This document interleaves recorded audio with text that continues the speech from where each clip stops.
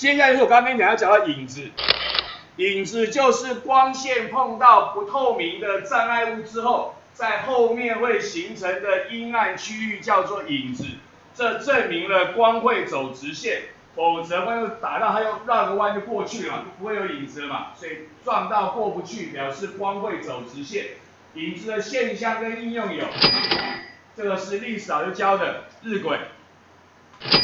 这个是艺术与人文老师教的皮影戏，这个是我们三年级的地科要教的日食跟月食。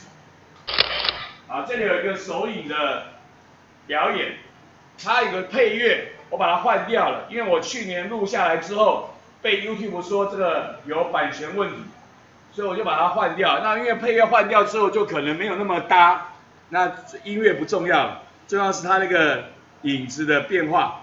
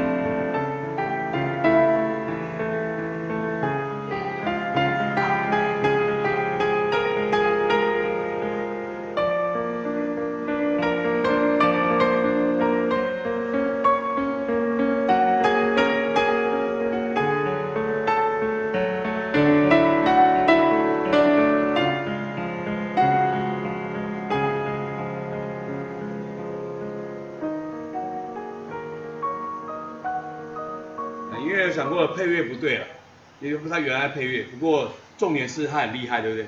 就是手影，艺术与人文，对。来，我们要介绍的东西叫做本影跟半影。如果是一个点光源，照过来完全都挡住，完全没有光，这样叫做本影。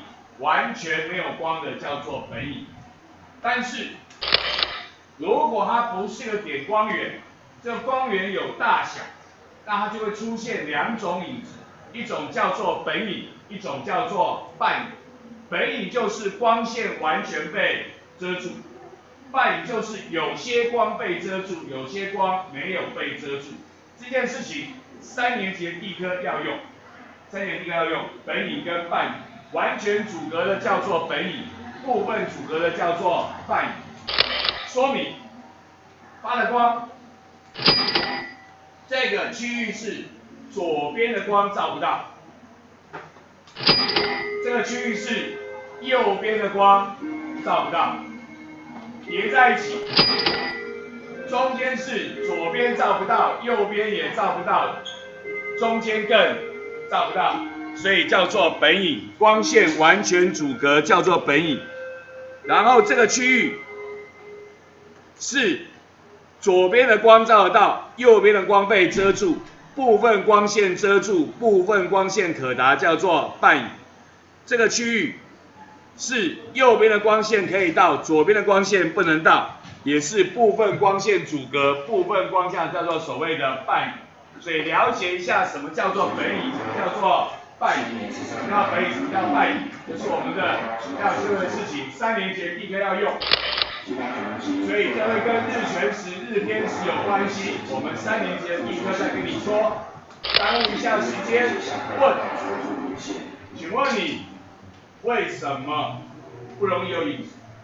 上面有灯，你把那个书本比较靠近地面的时候，有个黑黑的影子，你把它拿起来以后，那影子反而变得比较没有了。为何？为什么？为什么？为虾米咧？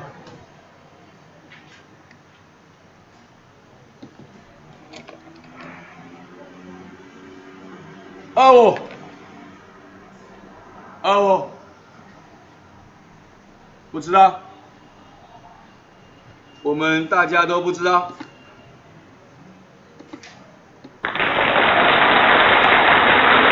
为这个光会到处反射啊。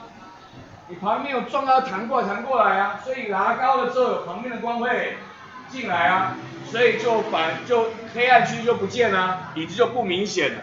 压低的时候就比较不会有旁边的光进来啊，所以会比较明显呢。来，请问你哪一个现象跟光的直径有关系？哪一个现象跟光的直径有关系？这应该很正常吧？加上一点成语而已啊。Number 十号，十号，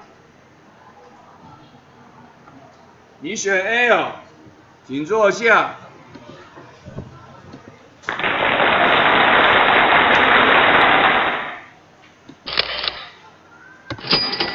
倒影是光的反射，后面会学。日上三竿，太阳升起来，那是眼睛看到的。空谷回音是声音跟光根本就没有关系，是声音的反射，所以影子影子的形成跟光的直径有关系，所以答案选 A。啊，这就是我们介绍影子，请先了解什么叫本影跟半影，我们三年级的第一课要用，OK。